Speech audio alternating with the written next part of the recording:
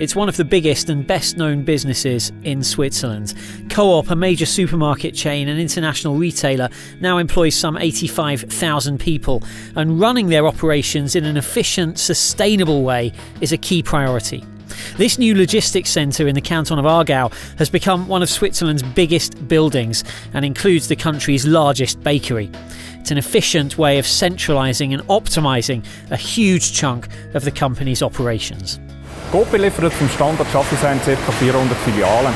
Unser Ziel ist, dass unsere Filialen mit Aufwand möglichst wenig belastet werden. Das heisst, der Aufwand für äh, das Recycling, das Aufbereiten vom Leergut etc. fällt nicht in den Filialen an, sondern hier im Standort Schaffhausen.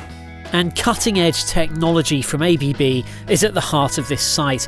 From robots baking bread to the most efficient motors and drives you can get, powering cooling systems that make sure this food is absolutely fresh, and all of it primed to be as eco friendly as possible. Es sind gigantische Zahlen. Wir haben unter anderem 12 Kilometer Rohrleitungen verbaut.